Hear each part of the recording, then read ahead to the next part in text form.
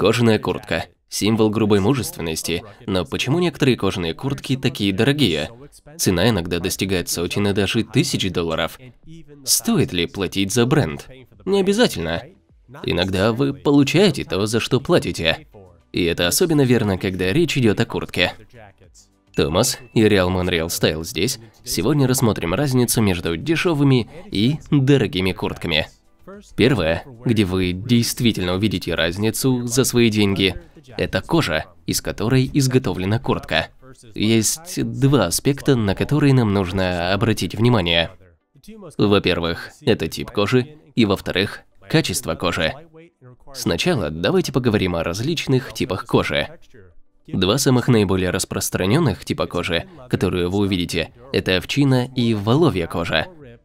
Кожа ягненка легкая, мягкая и требует очень мало времени для обработки. Однако она непрочная в отличие от воловьей кожи, которая имеет более заметный зернистый рисунок. Отличным компромиссом будет телячья кожа. Мягкая, как овечья, но прочная, как воловья.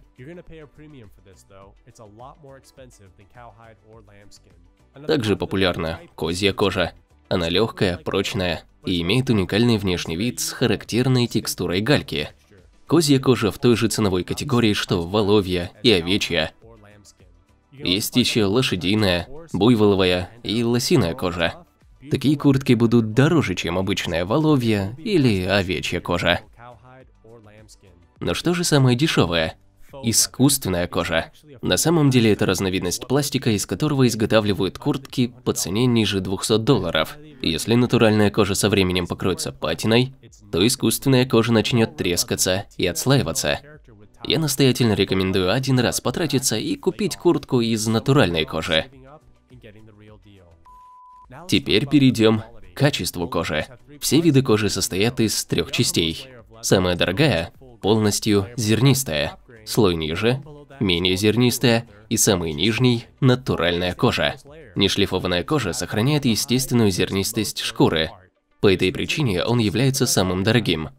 Цельное зерно – это самый толстый срез кожи, поэтому для обработки потребуется больше времени. Ниже идет верхнее зерно, при этом удаляется самый внешний слой, поэтому он тоньше и дешевле. После шлифования верхнее зерно приобретает однородный внешний вид. Поскольку этот самый верхний слой отшлифован для удаления пятен, кожа с верхним зерном также не будет такой прочной, как кожа с полным зерном. Последний тип кожи, о котором стоит поговорить, это натуральная кожа, также известная как замша, которая имеет красивый внешний вид благодаря ворсовой поверхности. Однако она является самой дешевой из трех видов кожи из-за непрактичности, излишней мягкости и склонности к появлению пятен. Правильная посадка.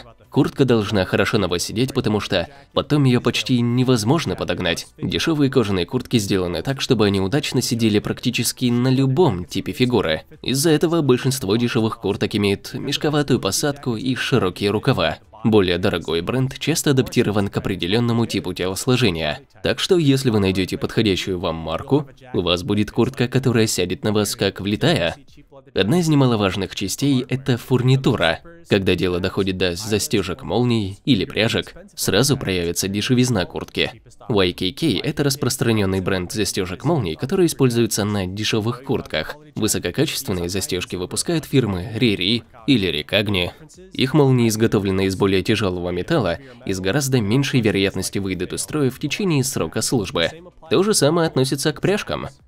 Хорошая кожаная куртка прослужит вам десятилетиями. И, наконец, качество пошива. В дорогой кожаной куртке будет использована высококачественная нить. Нить у дешевой куртки из искусственной кожи быстро придет в негодность. Теперь о подкладке. Как и на ваших костюмах, у куртки есть подкладка. Для подкладки у недорогих курток, как правило, выбирают дешевый полиэстер, который не дышит и подвержен разрывам при частом ношении. В куртке высокого класса будет использоваться ткань из хлопка или бомберга. Такая подкладка будет более воздухопроницаемой. Итак, джентльмены, какой ваш любимый стиль кожаной куртки? Дайте мне знать в комментариях ниже. Что вы сделаете, если у вас есть красивая старая кожаная куртка, которая нуждается в реставрации? Посмотрите это видео, где я показываю вам, как привести в порядок старую кожаную куртку.